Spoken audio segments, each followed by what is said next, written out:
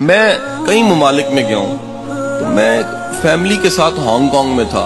मेरा होस्ट, उसने मेरा जो अपार्टमेंट था, कुछ दिन रहना था, बाईसवीं मंजिल पे करवाया हुआ था। छोटी छोटी पतली बिल्डिंग है बाईसवीं, तीसवीं मंजिल तेईसवीं मंजिल पे मैं बाईसवीं में बैठा हुआ। उसकी कॉल आई जी आए, नीचे हमने कहीं जाना है। तो नीचे आया, बच्चे तैयार नहीं थे। इंतज़ार करने लग पड़ा मैं। उसने कहा, शाह साहब, थोड़ी देर है। आपको एक तमाशा दिखाता हूँ। मेरे, अब पेंडू लोग हैं तो सोचा को बंदर का तमाशा होगा।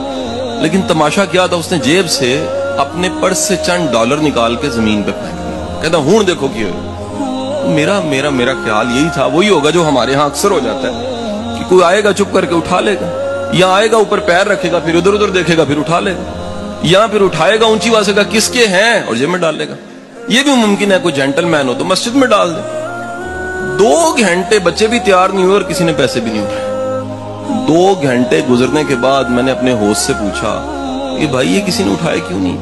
कहता the power of system system इतना ताकतवर है यहाँ का हांगकांग का. मैं कहा, कौन सा सिस्टम कहता कैमरे जसूस बंदे स्कैनर चीज़ें हैं, कोई किसी की चीज़ नहीं उठाता.